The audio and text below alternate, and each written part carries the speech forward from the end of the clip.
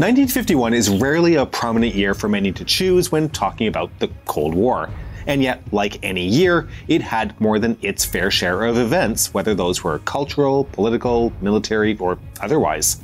In our ongoing series looking at specific years during the tumultuous time between 1945 and 1991, today we are going to talk about some of the events and occurrences in what can often be an overlooked year. I'm your host, David, and today we are going all the way back to 1951. This is the Cold War.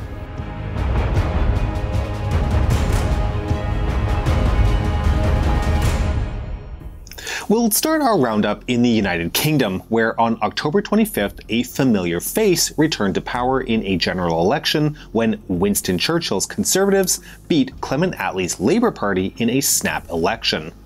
Attlee had been in power since 1945 and had spent the last six years implementing many of the social policies of the modern British welfare state, including the creation of the National Health Service. However, after six years, many of the key promises of 1945 had already been fulfilled, and the party was losing some of its direction. This was evident from the 1950 general election, where the Conservatives had gained seats, although not enough to form the government, leaving Labour with a slim five seat majority.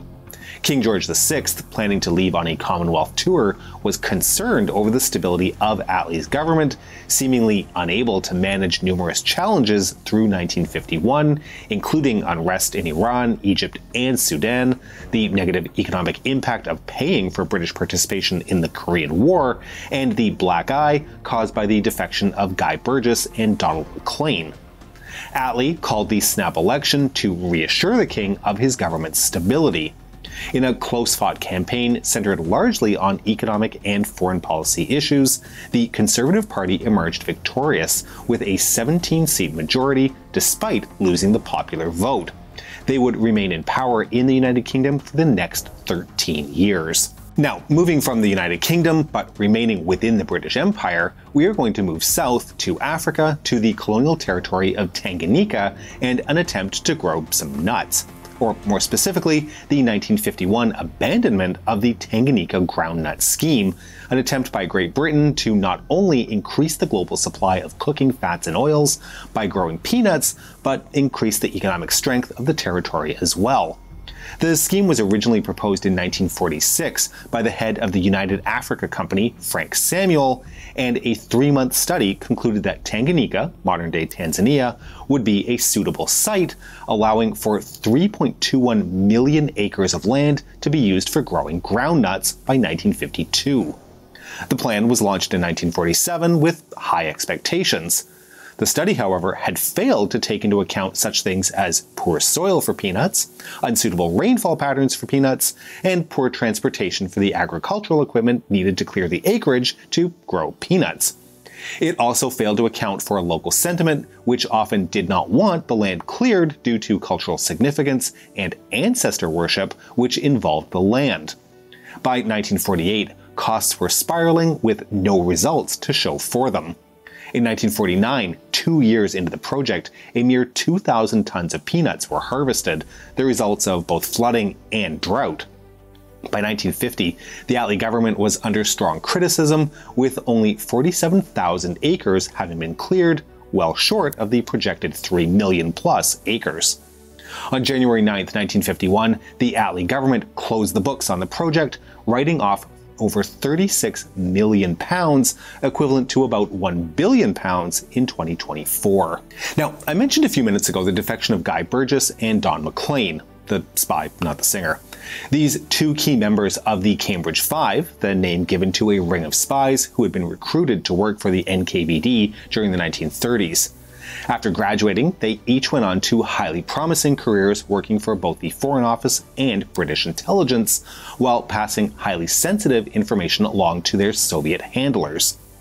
British counterintelligence at the time was lax, despite multiple indiscretions from both of the spies, often related to their heavy drinking.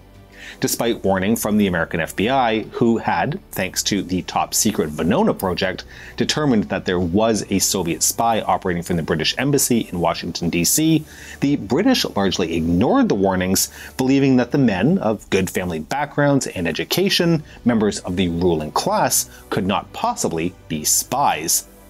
By 1951, Maclean was back in London, but the Americans had all but identified that he was the spy. Kim Philby, another member of the spy ring, himself serving as the CIA, FBI, NSA liaison in Washington, had seen the Venona data and realized that Maclean was about to be burned. He coordinated with Burgess to have Burgess recalled to London to warn Maclean. This was done by Burgess earning three substantial speeding tickets in a single day and being recalled due to a personal complaint from the governor of Virginia. By the end of May 1951, plans had been arranged. Maclean and Burgess had a meal at Maclean's home and then left, taking a ferry to France and then traveling onwards to Moscow. Although their defection was not officially confirmed until 1956, Britain had taken a rather severe reputational black eye. We've done a series of videos looking at the Cambridge Five. Make sure to check them out for more information. Now, speaking of spies, 1951 was the year that Julius and Ethel Rosenberg were put on trial in the United States for a violation of Section 2 of the Espionage Act of 1917, transmitting information relating to national defense to a foreign government.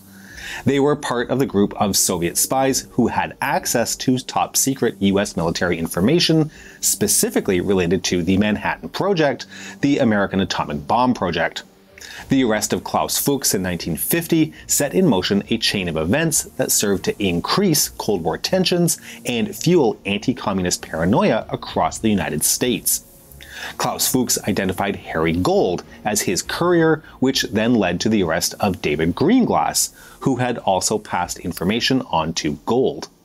Greenglass identified his sister Ethel's husband, Julius Rosenberg, as the person who had recruited him as a spy, resulting in the arrest of both Julius and Ethel during the summer of 1950.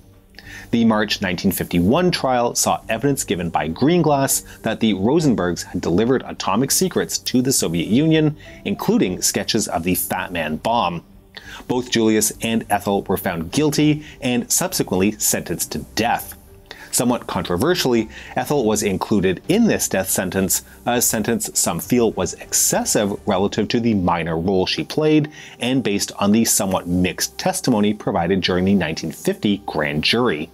The Rosenbergs were the only American civilians executed for espionage during the Cold War. And keeping with the nuclear theme, but moving west, 1951 saw the first set of desert rock operations conducted at the Nevada Proving Ground.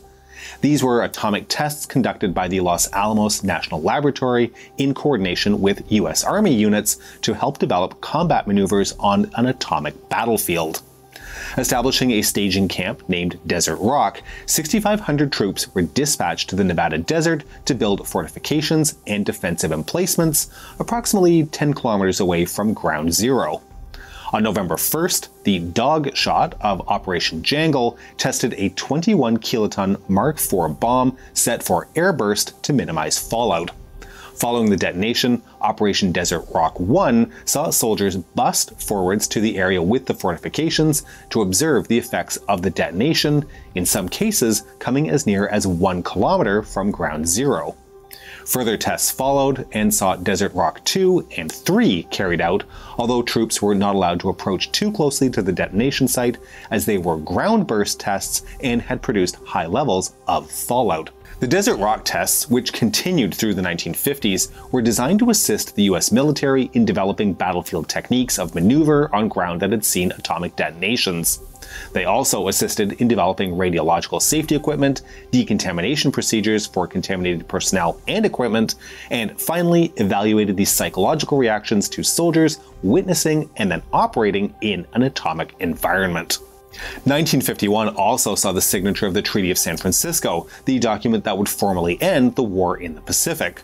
Well, except for all those countries who either weren't invited or refused to sign, including either of the Chinas and the Soviet Union. Oh, yeah, and Korea.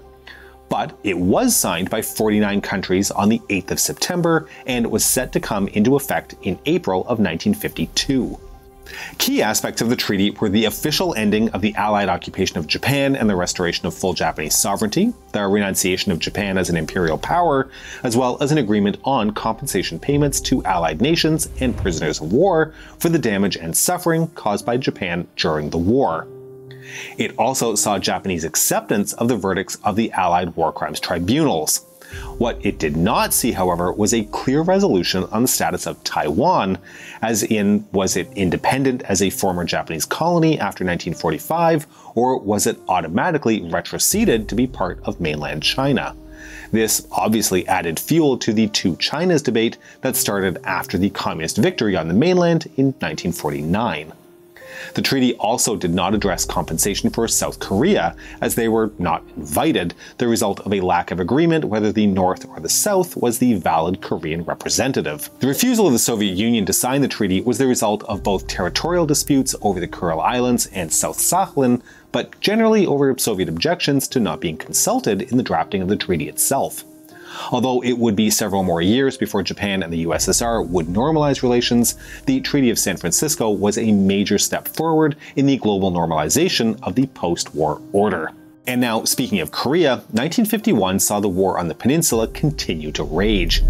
Starting with the Third Phase Offensive, otherwise known as the Chinese New Year's Offensive, the year began with a combined Chinese and North Korean assault, which saw Seoul recaptured by communist forces and UN forces pushed back down the peninsula. This offensive, which lasted through January, was forced to halt and then fall back due to a lack of logistical support. UN forces, under the command of General Matthew Ridgway, went on the offensive, reaching the Han River. February saw the communist fourth phase offensive blunted and broken at the Battle of Chipyong-ni, where 5,600 French and American troops held off and defeated a force of approximately 25,000 Chinese and Korean soldiers. March saw a resumed UN offensive recapture a now largely destroyed Seoul. April saw General Ridgway take over as Supreme Commander in Korea after General Dugout Doug MacArthur was relieved of command. More on that shortly. Ridgway planned for a series of counterattacks designed to hold and trap communist forces while the UN advanced. The Chinese launched their own attacks in April, the fifth phase offensive, but were halted by UN victories at the Battle of the Imjin River and the Battle of Kapyong. By the end of May, the fifth phase offensive had ended, but before they could withdraw, UN forces launched their own offensive, causing tremendous further casualties to an already depleted Chinese force. The lines that were reached and established by June of 1951 were largely those that remained in place for the remainder of the war as Korea descended into a stalemate. Okay, back to MacArthur. In April of 1951, one of the more controversial and also misunderstood events of the Korean War, and possibly even of the Cold War itself, occurred the relieving of General Douglas MacArthur from overall command in Korea. MacArthur, the Supreme Commander for the Allied powers in Japan and the commander of Far East Command, has often been styled as a military genius, especially if you read MacArthur's own press. Although he was responsible for the weakened state of Allied forces in Korea at the time of the North Korean invasion, the brilliant amphibious landings at Incheon were his brainchild and allowed UN forces to break North Korean forces and advance well north of the 38th parallel, almost to the Yalu River, this prompted the Chinese to intervene, the advanced signs of which MacArthur had ignored, resulting in the 8th Army being forced to retreat 275 miles, the longest US retreat in its history. But this wasn't why he was relieved, nor was it for his calls for the use of nuclear weapons. Instead, it was for a refusal to align his policies to that of the civilian government. MacArthur was under strict orders to not attack China directly, but MacArthur also seemed determined to expand the war, making public statements to that effect. This publicly called into question if Truman and the civilian government were actually in control of the military. Although there is no evidence that MacArthur ever directly violated any orders from the Joint Chiefs of Staff, it was evident that MacArthur and the Truman administration were not on the same page when it came to the conduct of the war, and he was relieved of command on that basis. On July 28, 1951, the Convention relating to the status of refugees was signed, a UN treaty that, among other things, provided for a definition for who could be a refugee and stipulated the rights and responsibilities of both refugees and asylum nations. The convention became a defining document regarding refugee policy in the post war period, including its incorporation into European Union law, and remains a key, albeit increasingly contentious, set of guidelines in the present day. The convention defined a refugee as someone who, quote, as a result of events occurring before 1st of January 1951 and owing to well-founded fear of being persecuted for reasons of race, religion, nationality, membership of a particular social group, or political opinion, is outside the country of his nationality and is unable, or owing to such fear, is unwilling to avail himself of the protection of that country, or who, not having a nationality and being outside the country of his former habitual residence as a result of such events, is unable or owing to such fear is unwilling to return to it. In 1967, the protocol relating to the status of refugees reaffirmed this definition but removed the stipulation regarding events happening before January 1, 1951. Among the responsibilities of the refugee claimant is the need to report themselves to local authorities as promptly as possible, as well as to abide by national laws in the host country. In exchange, the host country is obliged to protect the refugee under local laws, provide access to courts, identity papers, and travel documents as necessitated, and provide the possibility of assimilation and naturalization.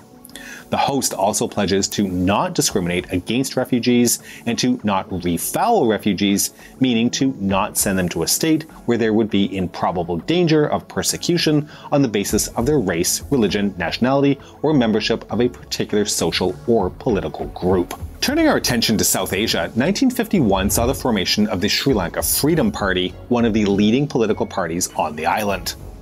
When Ceylon achieved its independence from Britain in 1948, it still not only retained British troops at the port of Trincomalee, but was struggling to settle on an accepted place for the substantial Tamil minority in the country. Solomon West Ridgway Dias, SWRD, Bandaranaike established the Sri Lanka Freedom Party with the intent of representing left leaning Sinhalese on the island. The platform, realized after the party's election to power for the first time in 1956, was based around the removal of British forces, a move towards the non aligned movement in international politics, and an increase in social programs and local education. The SLFP also championed Sinhalese nationalism, including language policy, making Sinhala the official language in 1956. This often came at the expense of the Tamil minority.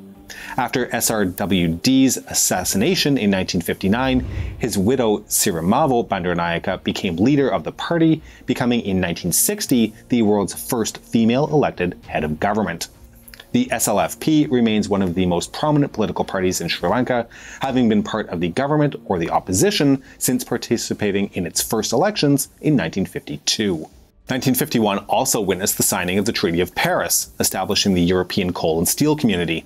The six signatories, France, Germany, Belgium, Italy, Luxembourg, and the Netherlands, agreed to create a common market for coal and steel, looking to rationalize the distribution of production of these goods while increasing employment and living standards at the same time. Given that several of these countries had been engaged in a bitter and devastating war only six years before, the Treaty of Paris has been hailed as an enormous step in diplomatic reconciliation.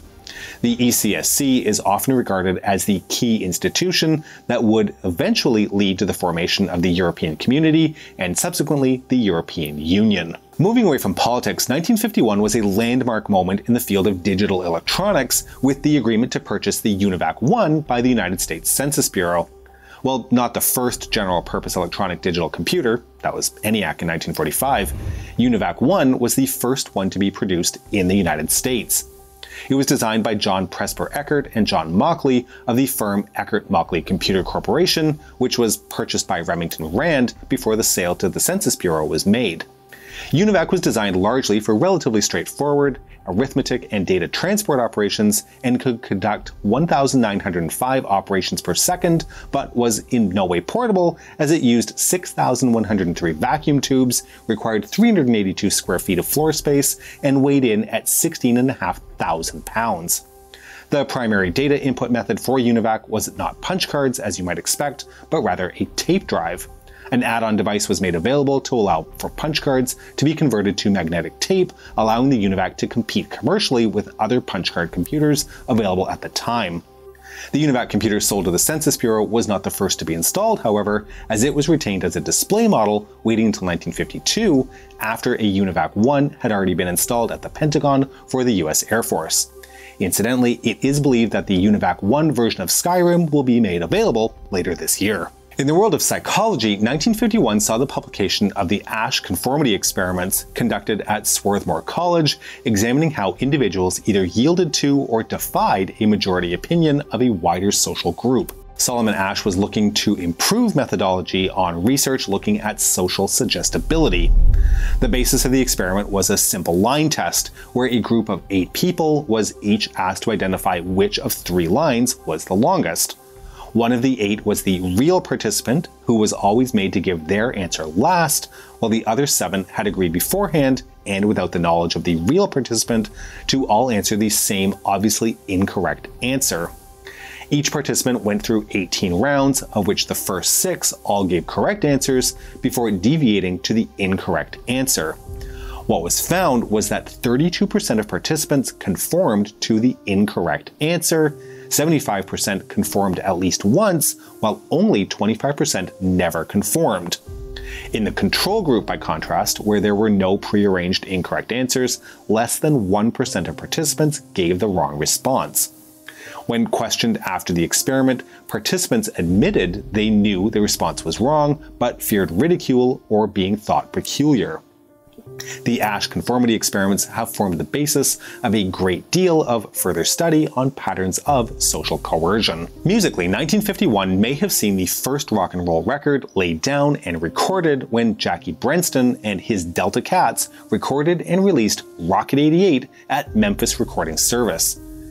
In reality, it was Jackie Brenston on vocals, the band playing was in reality Ike Turner and his Kings of Rhythm. Released that year on the Chess label, Rocket 88 topped the Billboard R&B charts for five weeks that summer. Stylistically, the song is a combination of jump blues and swing, while lyrically, it's simply an ode to the Oldsmobile Rocket 88 recently introduced. What sets the song apart, however, and has made it a contender to possibly be the world's first rock and roll song, is the somewhat fuzzy sound produced from one of the amplifiers, which was damaged while being transported to the recording studio. The claims to be the first rock and roll song have also been amplified by the owner of Memphis Recording Service, Sam Phillips, who liked to style himself as the man who popularized rock and roll. Ike Turner, to go to the source, stated, I don't think that Rocket 88 is rock and roll. I think that Rocket 88 is R&B, but I think Rocket 88 is the cause of rock and roll existing. Turning to literature, 1951 saw the publication of J.D. Salinger's The Catcher in the Rye, a novel that so many teens over the years have read and fallen in love with for its themes of angst, alienation, and rebellion, only to go back and reread as an adult to discover that its protagonist is a phony. Or maybe that's just me. Anyways, the story follows the course of a weekend spent by 16 year old Holden Caulfield, who, after being expelled from his preparatory school, spends a weekend in New York City brooding and musing about his life and relationship to the things around him. At the time of its publication, the book was very well received by many critics, and it has gone on to sell millions of copies globally, having been translated into multiple languages, and is consistently listed among the best books of the 20th century. It has, however, also received its fair share of criticism, both from literary critics who accuse the writing style of being terrible, and from parents who dislike the content, which includes vulgar language, sexuality, alcohol abuse, and poor family values. Some of the most stern criticism, however, has come from adults, including myself, who consider Holden to be, in retrospect, a whiny, self centered, and generally unpleasant protagonist. Incidentally, The Catcher in the Rye has been associated to several shootings and murders, including Ronald Reagan's would be assassin John Hinckley Jr. and John Lennon's murderer Mark David Chapman. In my opinion, this is a book that every older teen should read and then move past. Just one host's opinion, of course. So, as we move to wrap up this look at 1951, we'll take our customary look at popular films and music, as well as some of the sports winners of the year. The highest grossing film in the United States that year was the Roman epic Quo Vadis, earning $11.1 million at the box office and starring Robert Taylor, Deborah Kerr, Leo Genn, and Peter Ustinov. The top Soviet film that year was In Peaceful Time, a story about Soviet submariners in peacetime and their war with foreign intelligence agents, and starred Nikolai Timofeyev, Arkady Tolbuzin, and Vyacheslav Tikhonov, Stirlitz himself. An American in Paris won the Oscar for Best Film, Vivien Leigh won the Oscar for her performance in A Streetcar Named Desire, and Humphrey Bogart won Best Actor for The African Queen. In the world of music, the number one song on the Billboard charts was Too Young, sung by Nat King Cole with Les Baxter, but my personal favorite from that year is Patti Page's rendition of Tennessee Waltz. In sports, the Los Angeles Rams beat the Cleveland Browns to win the NFL championship, while the Toronto Maple Leafs beat the Montreal Canadiens over five games. In the NBA Finals, the Rochester Royals beat the Knicks 4 games to 3, while the World Series was won by the Yankees, beating the New York Giants 4 games to 2. In Canadian football, the Ottawa Roughriders beat the Saskatchewan Roughriders to win the Grey Cup, ensuring that the Roughriders won. The 57th Five Nations Championship was won by Ireland, while Hugo Koblet of Switzerland won the Tour de France. And finally, in that funny old game, Atletico won La Liga, Milan secured the Serie A title, Nice secured the title in France, the FA Cup was lifted by Newcastle, and in the English First Division, playing in the top flight for the first time since 1935, Tottenham Hotspur won the league under manager Arthur Rowe. Come on, you Spurs. And that was 1951. As always, I will remind you that this is only a brief snapshot of the year, with us not talking about many, many of the other things that happened. These episodes are only meant to give a general flavor. And despite my saying that, I'm sure you will let us know in the comments what we didn't cover. We do hope you've enjoyed this episode, so to ensure you don't miss any of our future work, please be sure to press the like and subscribe button, and even more importantly, press the bell button, who is currently trying to grow nuts in inappropriate places. Please consider supporting us on Patreon at patreon.com slash the Cold War or through YouTube membership. We can be reached via email at thecoldwarchannel at gmail.com and as we talk about the Cold War, please remember that history is shades of gray and rarely black and white.